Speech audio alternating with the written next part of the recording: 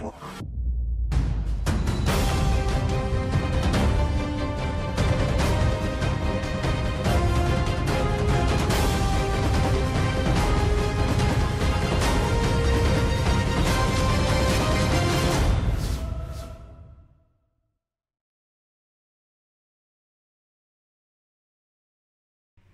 Hello, my Aries friends. It's Guiding Halo, and this is going to be a reading for you for December 7th to 31st about what Spirit wants you to know. So, first of all, we have the inflow of abundance here. Absolutely beautiful energy. Eager beaver, eager to get things going and hoping someone will lift you up. So, this Ace of Pentacles, the inflow of abundance, a promising business venture, important documents or contracts are going to need to be signed. And I really feel that it's a, a hope for equal reciprocity, gifts of time, effort, or money coming to you from the divine. And in some way, you had to get a broken heart in order to get this. There's something to do with how this is coming to you. It's coming to you through a broken heart, but it's something that you took control over. Aries, that's your energy. You took control over something even though it broke your heart to do it. Structure, logic, and discipline. Taking action. Absolutely. Yep, that's the way I see that. And we have a wish granted. When I'm tuned into the energy of abundance, I become abundant. It seems to me that you've been through a whole hell of a lot lately, whoever this is, because you're rising as the phoenix, resurrection, surrender to the changes coming your way. Now we have the world card here, which is the end of a cycle. So a job well done, joy, contentment, and gratitude, the path towards enlightenment. It's like a new portal opening for you to manifest new things in your life. However, that being said, you're lacking clarity about how to move forward in certain circumstances, wanting to move away from rough waters to calmer waters, take all your swords of knowledge with you, your children, and and start new and fresh. And there is a wish granted coming here where that's concerned. Could have something to do with a Piscean energy stepping in to help you in some way. Could be financially, the equal reciprocity. Mm, you'll have to take it how it resonates here. Let's pull an extra card. I'm being led to pull an extra card for this wish granted. Something you've wanted for quite some time is coming to fruition. This moving away from the rough waters to calm waters, lack of clarity, there's indecision, uh, unable or unwilling to make a decision about something. But it seems to me that decision's been made because you're moving away, or you're going to, very quickly here. Confusion. Yeah, we're getting confusion. Lots of opportunities. Confusion about what's going to fill your heart most. Look at that. We're going to use the Ace of Pentacles to clarify the Nine of Cups. I think there's confusion about how anything can look positive right now amongst all of the gloomy that you've been through. I'm getting that totally from somebody. When I'm tuned into the energy of abundance, I become abundant. So remember that, tuning into the energy of abundance, which is about being grateful for what you have, for the people in your life, the things coming around. Yeah, it could be a Virgo coming around. There's a Virgo, possibly someone very wise coming around. Could be going inward to find out what this means to you and looking at where you've been, where you're at now, and which way you're going to head forward. Taking this star card of hope and heal, or star here from the star card of hope and healing to head forward and be the light in your lantern. This is also tells me that you need to be the light and lantern possibly for others. Once you go through this and figure out what's going on and have learned, you need to be that light and lantern for others. If you are a Virgo out there in the world, there could be an Aries that really needs your help right now. Yep, could be. Let's read the Phoenix card, shall we? Eager Beaver wanting to get started on the brand new card number 29.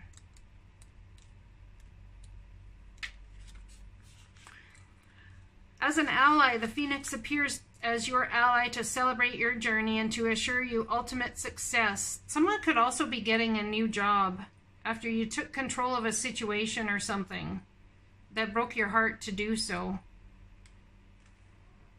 Just saying. This is a job. Could be home. It's something that's going to bring in the inflow of abundance. Anyway, sorry. This is true even if it appears that you've just passed through a metamorphical experience or death or are currently enduring a perception of failure in your life. Death and rebirth are related when you enter the realm of the phoenix. Seen in this light, nothing truly dies, but rather changes from one ending directly into a new beginning. The phoenix is currently reinventing itself and rises up whole and new and even more powerful with every death it experiences. This could signal an end of a relationship or a or of a dynamic within one, or end of a job, a project, or even a life. Perhaps no failure is involved, but it's time for a complete overhaul of your circumstances. You may be tired of what you're doing, or you may know intuitively that it's time to move on and try something new. Whatever the case, a death of the old and a celebration of new life are called for. Whatever you do now will indeed be a successful endeavor, for a rebirth is imminent as a challenger, when the phoenix challenges you, it's a really just a gentle reminder to let go and let what doesn't work fall away. Maybe you're not allowing things to change because you're most comfortable with the familiar, even if you know that it's not the best you could create for yourself. Fear of change is a crippling experience. As it works against nature itself, the task at hand is to allow for an ending, as is timely and right that you do so for the highest good of all. In surrendering to the fundamental purposeful change, you'll almost definitely find yourself in better circumstances. The action needed is allowing, a rebirth is assured. How beautiful is that? Wowzas.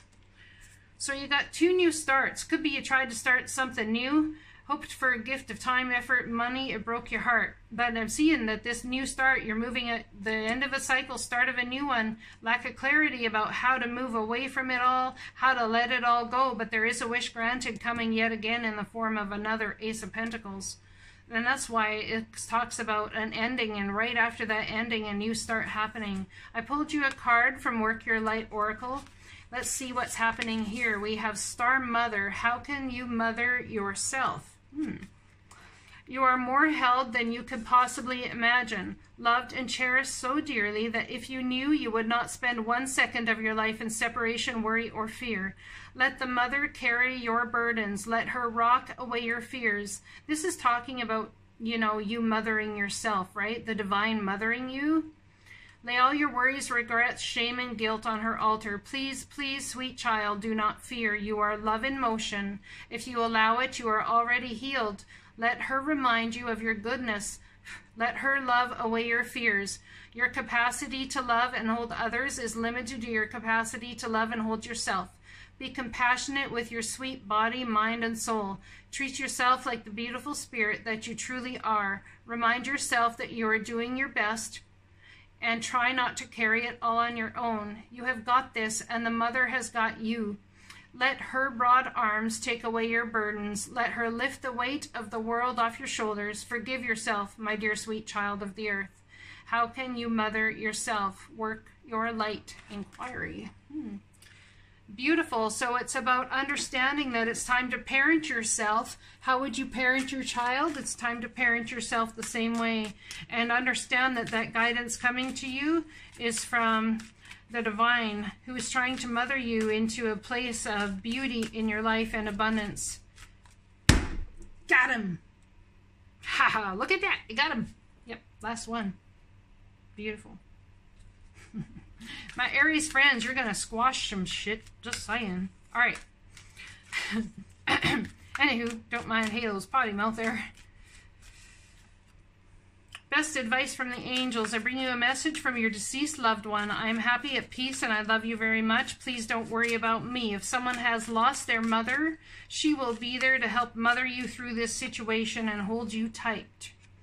Look at that. Hold you tight. Time out. You've been so busy taking care of everyone else's needs, but now it's time to stop and take care of yourself. Your desired outcome will occur in the very near future. Have patience and faith and don't try and force it to happen. I am the angel of abundance. You will receive the money that you need. God is in charge of how that will happen. Have faith. It seems to me that there's a new start coming for you from the divine at the hands of a passed over loved one who's trying to bring it forward to help you see it through. I hope this message resonates for you guys, and I will talk to you again soon. Blessings.